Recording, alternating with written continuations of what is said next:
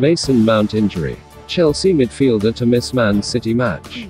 Mount picked up a minor injury against Aston Villa in the Carabao Cup. Thomas Tuchel has said Mason Mount will miss out on their Premier League clash against defending champions Manchester City due to a minor knock. Mount last played in the Blues Carabao Cup victory over Aston Villa on Wednesday, coming on for N'Golo Kante at half-time.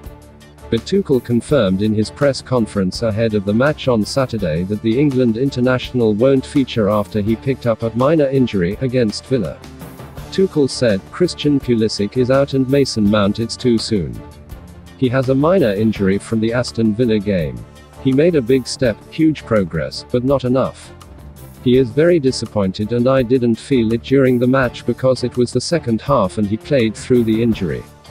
He finished the game, was confident to take an important penalty. So it was a surprise. The steps he is taking are huge, maybe it was possible if the game was one day later.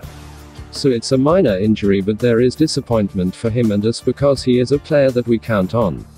But no matter the importance, no matter how we rely on him, the task is to find solutions without him and bring him back as soon as possible.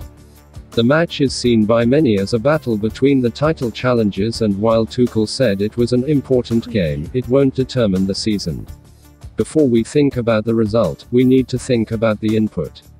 In these matches, you need the momentum and luck, post in and post out, the boss added.